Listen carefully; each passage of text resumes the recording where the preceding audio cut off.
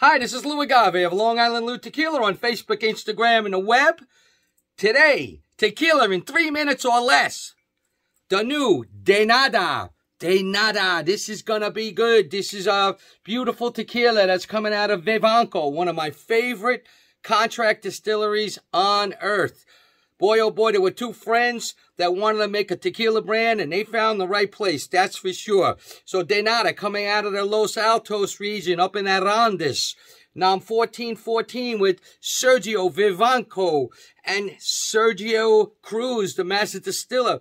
Boy, oh boy, they make some of my favorite tequilas in the whole world. I'm telling you, this is going to be new. This is brand new. They have a repo out as well. Okay. And, um, I see it on the internet for as low as $35.99 and then up, you know, into the very low 40s. That's a really good price. That's a really good price. We're going to check this out right on camera. Here we go. So this is it. First time I'm ever trying it ever.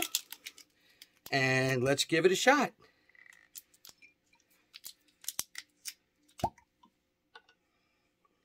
Some light vanilla,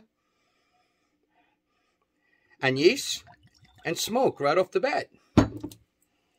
That's what I get. Uh, and herbalness, okay? So I'm getting herbalness, little mint, definitely some citrus. So, you know, we're looking at maybe, you know, like uh, grapefruit,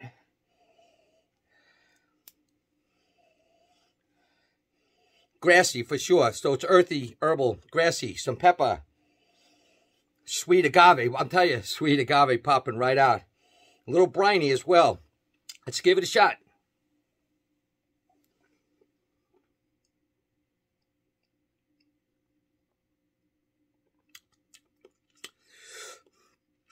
Very easy going down. Silky. Really soft. Um, I read that uh, it's oxygenated, so that's probably the reason why it's nice and soft and easy to drink. Nothing wrong with that. No additives ever. Add anything in Vivanco. This is stone cooked, roller milled, stainless steel fermented open air without fibers, and champagne yeast, double distilled all copper, and like I say, oxygenated and distilled to near proof, at or near proof. That's a good thing.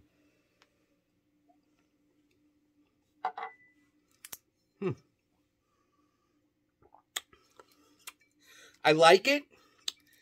It's it's good, really good, solid. I'd buy it. I'd drink it. I'd use it for sipping.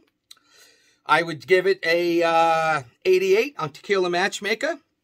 I say it's really good. You could tell it's well made. You really can.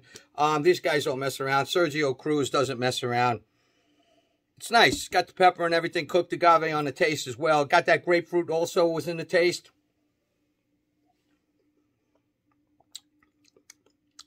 Some vanilla, but not a lot. Mint, anise.